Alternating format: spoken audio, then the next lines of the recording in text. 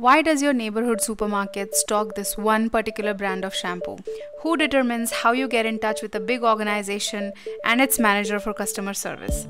These small decisions are a part of an entire ecosystem called robotic process automation that is now making its presence felt in diverse fields like customer satisfaction, manufacturing, and even warehousing.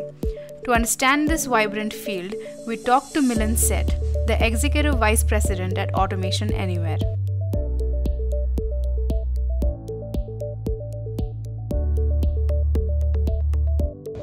See, essentially, when we talk about automation, uh, now we first will talk about it. What is what is not solved today?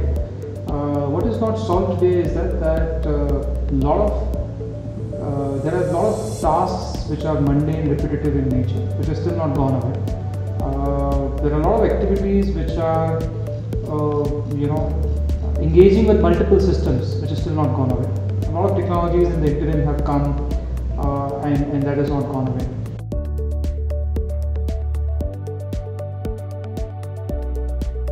And automation came in form of a backend systems, but uh, you still needed humans uh, to work with those systems, integrate multiple systems from one uh, system to other system.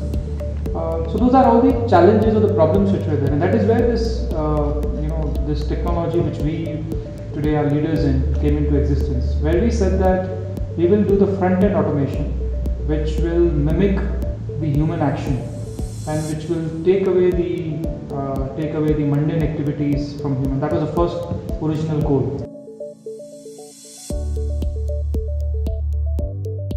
AI or artificial narrow intelligence uh, is something which is uh, which is coming in a big way where you can build multiple technologies like cognitive learning uh, like machine learning like uh, fuzzy logic.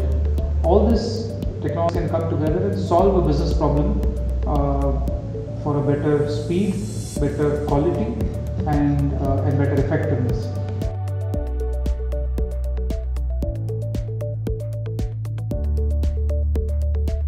A lot of FMCG companies deal with significant dealer and distribution data, and uh, this data comes to them in form of a planning at a lowest SKU level.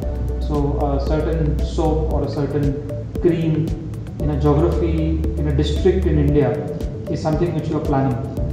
Now you do all that at that level of detail and then you have the actual market report coming your way. Uh, today, before this technology came into play, you spend hundreds of people spend hundreds of hours to reconcile and integrate this data.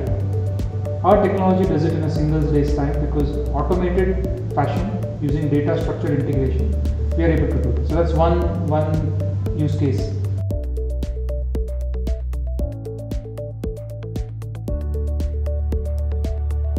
Skills which you need today will be will be different the skills you'll need tomorrow. Uh, so I think I think uh, uh, any technology evolution creates more and more jobs.